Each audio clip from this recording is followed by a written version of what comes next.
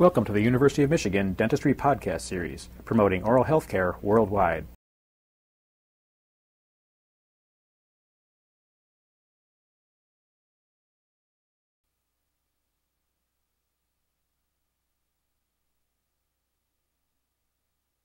Today we're going to discuss utility arches, which are a reasonably common type of orthodontic appliance used to intrude or retrude or procline upper and lower incisors.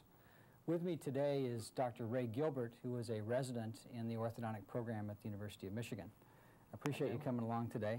And what we're going to do is to discuss the a little bit about the background and then the different types of utility arches and then finally the fabrication of one particular type.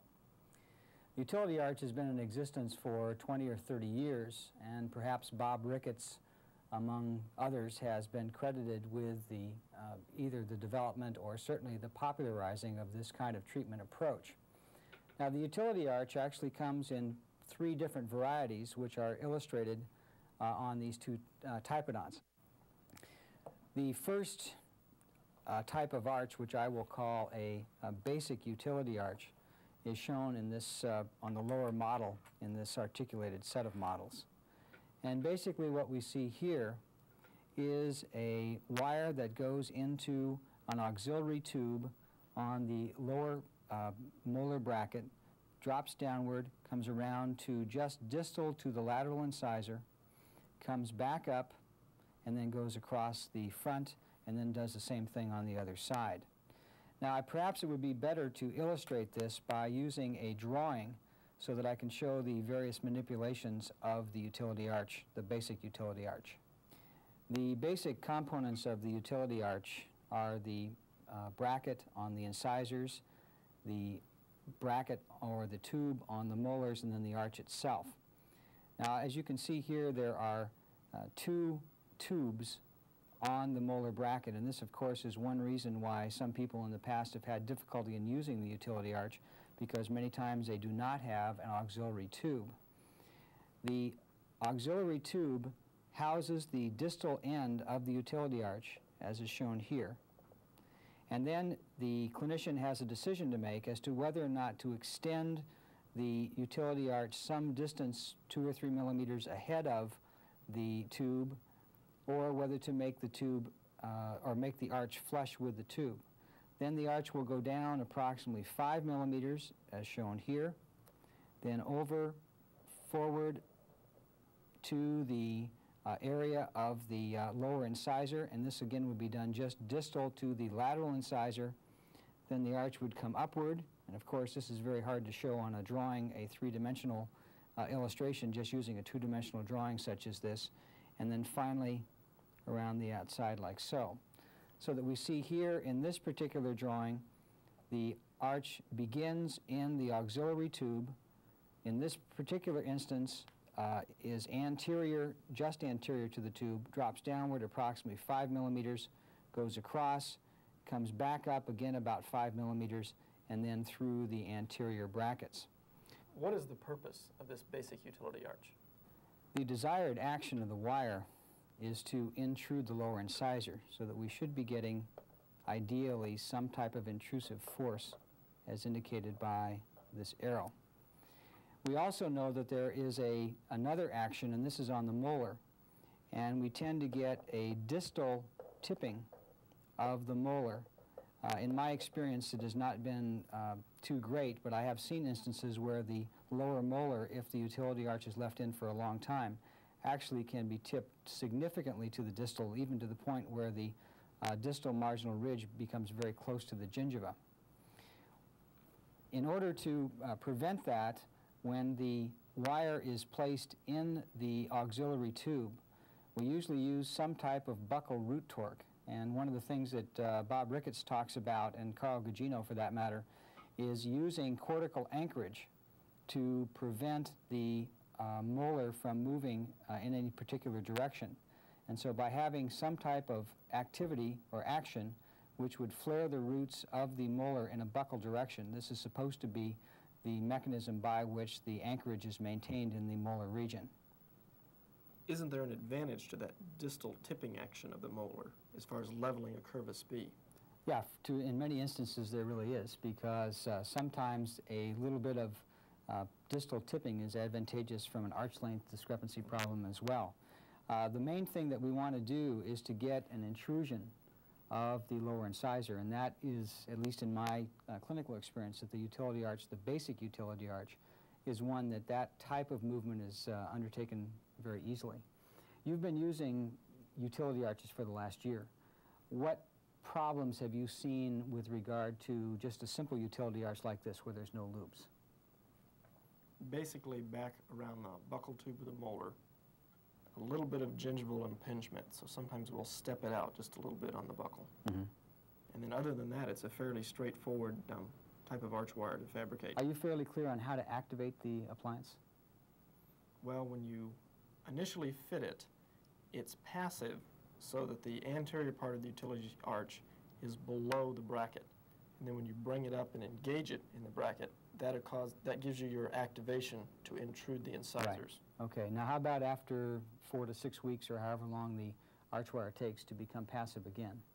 Then you would use something like a three-prong plier or a um, tweed loop bending plier and form a gable bend in the um, horizontal section and bend it so that it comes up towards the occlusal surface. I think that one of the demonstrator models uh, illustrates the type of gable bend uh, in which the gable itself is pointed toward the occlusal in both the lower arch uh, and the upper arch. Now this particular model shows two variations of the utility arch for uh, two different functions, uh, one of which is to procline the incisors and one is to recline or retrocline the incisors as well. Perhaps the most commonly used utility arch in my own practice is the uh, retraction utility arch. And this is not only used to intrude teeth, but also is used to uh, move them in a posterior direction. Uh, this uh, artist drawing of the uh, different types of utility arches perhaps makes it uh, a little bit easier to understand. the retraction utility arch is used, of course, in a patient who has flaring of the upper incisors. It also works very nicely in the retraction in mass of the upper four anterior teeth, particularly, for example, if you had extracted an upper first bicuspid or even an upper second bicuspid. And also, even in a non-extraction case, this type of arch works very nicely in the uh, correction of a deep bite or correction of really any type of anterior problem, uh, whether it be a vertical problem or even a midline problem. That if you have some spacing, for example, uh, distal to the lateral incisor, uh, this spacing can be adjusted to the point where the midlines are corrected. Now the retraction utility arch uh, once again begins in the auxiliary tube. Now you'll notice that there is about a five millimeter um, space between the uh, anterior part of the auxiliary tube and the vertical part of the utility arch. The reason for that, of course, is to allow for an activation of the appliance by taking the wire through the tube and then turning it up with a Weingart plier or some other type of plier like so. The uh, base part of the wire or the gingival part of the wire as we see here uh, traverses below the gingival margin in the gingival reflex area and then recurves downward with a 90 degree angle before a loop is placed in the arch wire.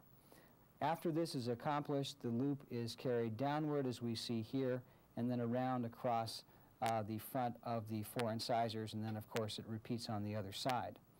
Now once again if this is going to be activated uh, usually a gable bend will be placed. I prefer using a uh, tweed loop bending plier more than a three prong because I find that it works very nicely for activation but this would be done so that this type of bend would be placed uh, in the upper utility arch.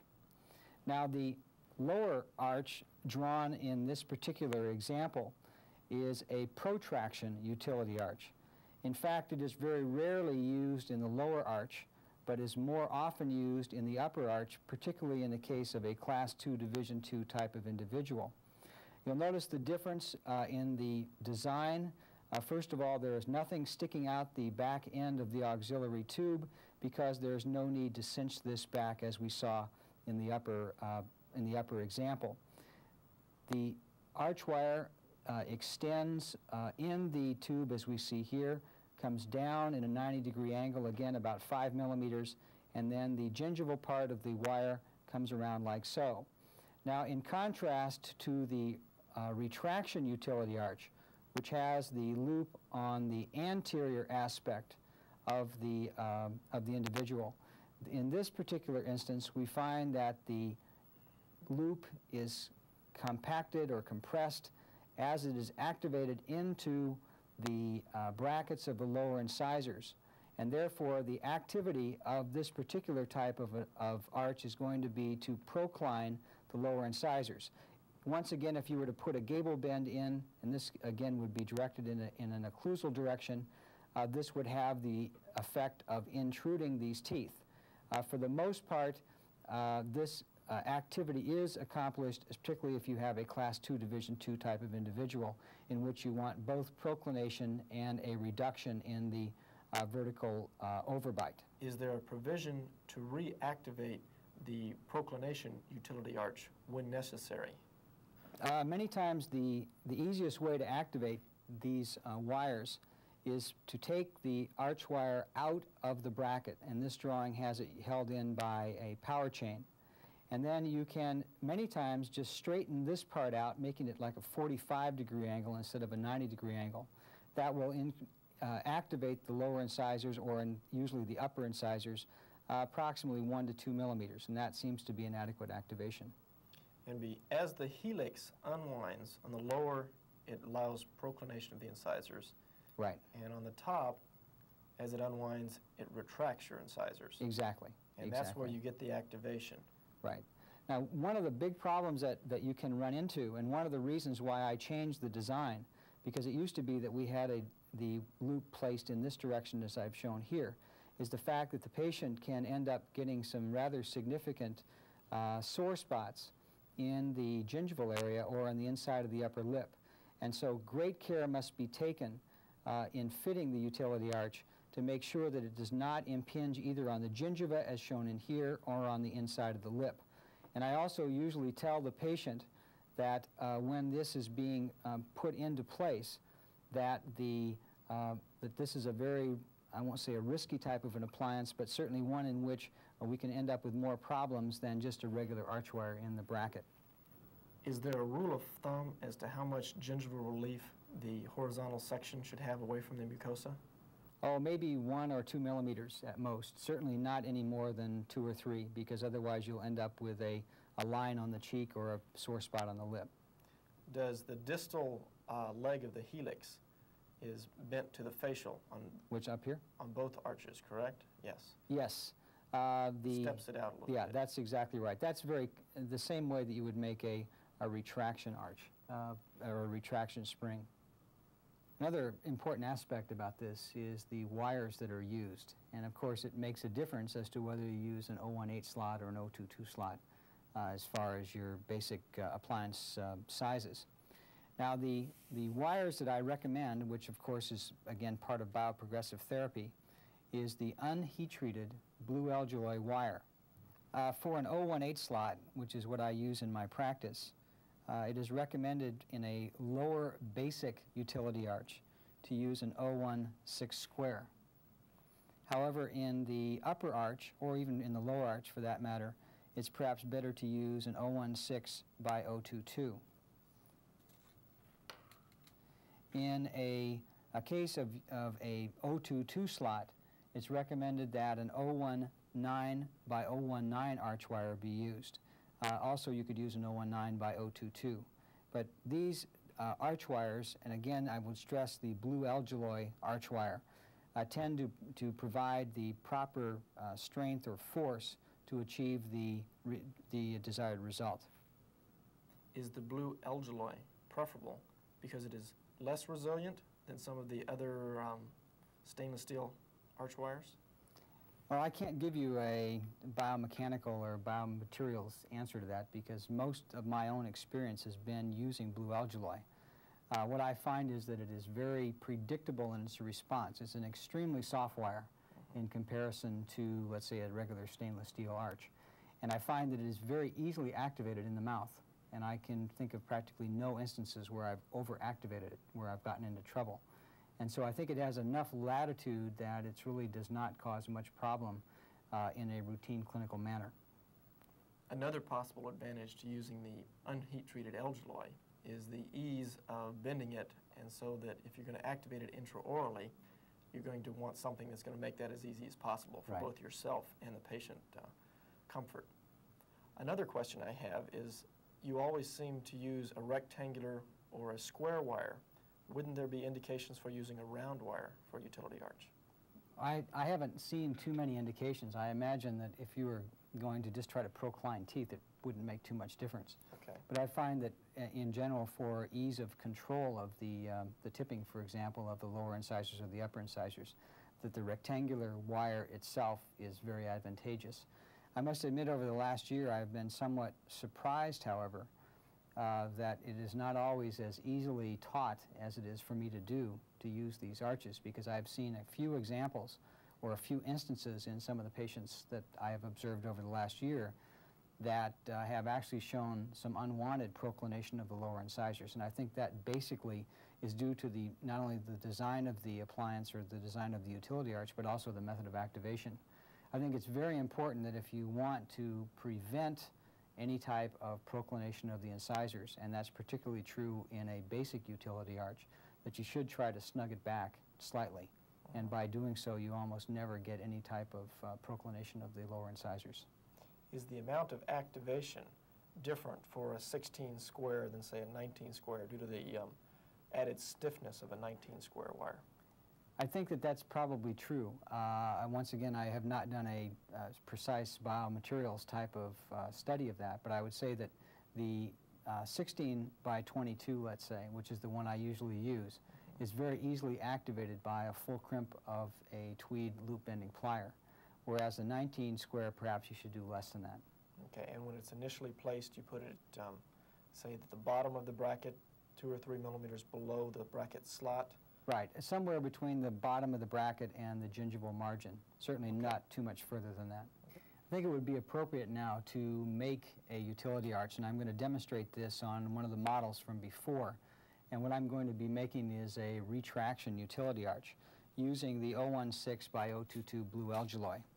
These come in about a 20 inch or 2 foot strip. And what I will be doing, using a distal end cutter or any other kind of wire cutter, we'll be just cutting a section in half, and then we will be using this part for the construction of the utility arch. Now we have taken the arch wire out of the model that I showed you before, and so I'll be using this to demonstrate the fabrication of the appliance. Now the two major types of pliers that are used in fabricating the utility arch are the tweed loop bending plier, which I show here, as you can see, there are three turrets on the loop bending plier, and we always use the largest of the three turrets uh, in fabricating the loops on the utility arch.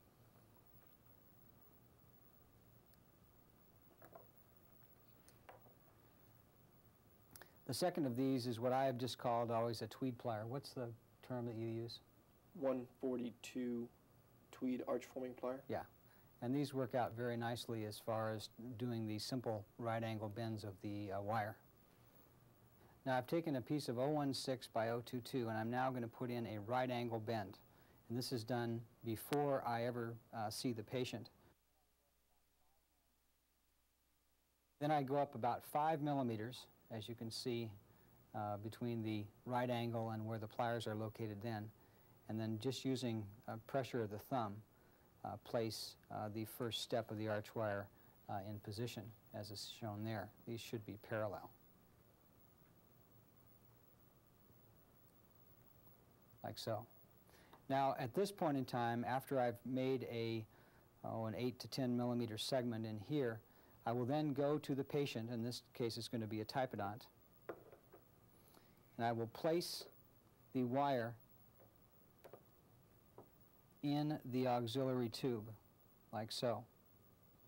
Now usually this will extend about to the middle to the front of the second bicuspid. At this point in time, I will then lay the arch wire gently around the arch, and then taking a marking pencil, make a small mark between the uh, lateral incisor and the cuspid. Then the arch wire is removed from the patient. I go back to the tweed arch forming pliers once again and place another 90 degree bend in the wire.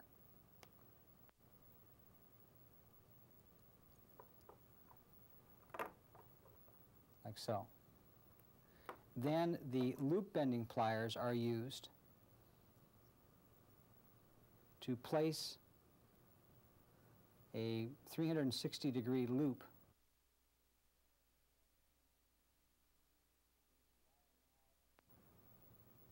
so that the wire now again is resumed its 90 degree course from the gingival part of the utility arch. And then we take the arch forming pliers and place another 90 degree bend which will become the incisal wire. And this now is going to be going across the area of the uh, incisor brackets. At this point in time, I then will use my fingers holding the utility arch at the junction of the incisal wire and will place a gentle bend in the wire to begin to form the arch contour. This is very easily done using the blue alloy wire. You now see the area of the molar extension, the gingival part, the loop, and then the beginning of the incisal contour. You'll also notice that the, the length of the vertical step in the molar area is in fact a little bit shorter, about four or five millimeters, than it is in the anterior area. And in this case, you can get away with six or seven millimeters uh, in a, an upper uh, utility arch case. I notice the distal extent of the helix is always towards the outside of the facial.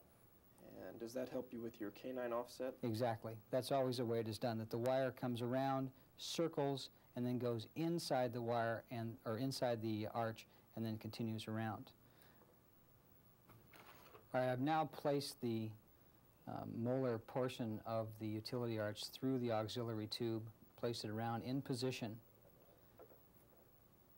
And we're now going to take the pencil, once again, and mark the arch wire at the point just distal to the lateral incisor. Then the arch bending plier is used to place a 90 degree bend, followed by the tweed loop bending plier once again. And in this case, you somewhat have to guess the exact size and position, or not size, but the position of that loop. Now we've placed the incisal part, then a right angle step, then a loop continuing up vertically. Then I go back to the loop bending pliers.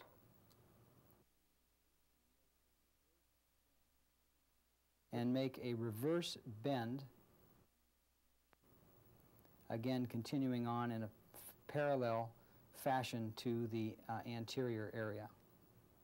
I noticed when you made the second helix and the 90 degree bend after it was made, you used the loop forming pliers, whereas on the first helix you used the 142 uh, tweed pliers. Right. That's so that you can get the proper, uh, the proper bend in this area here.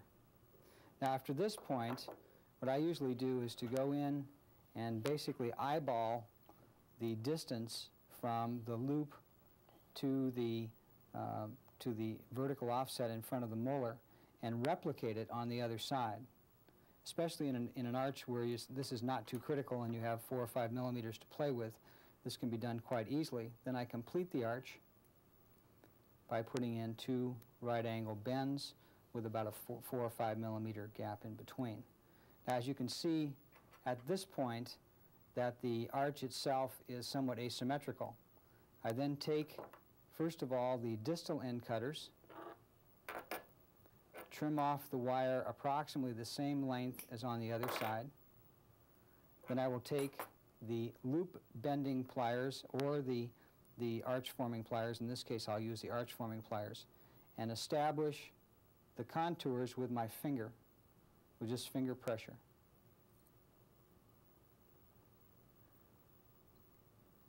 putting in a little bit of cuspid offset. And you can see that this wire is very, very soft and is easily bendable. This is the final configuration of the utility arch, and you'll notice a reasonably symmetrical uh, contour. At this point in time, the arch wire will then be placed back in the patient's mouth. Then the arch wire is moved into place, centered properly, using either Weingart pliers or finger pressure or whatever, and then it will be placed in position in the brackets using an elastic chain. The final adjustment, uh, aside from the comfort adjustment to the patient, is the activation. And all is done here is it is grasped either with Weingarts or a uh, hemostat or something of that sort and then bent upward like so. And you can see the effect of moving this loop. It closes the loop and puts in a retraction force on the uh, upper incisors.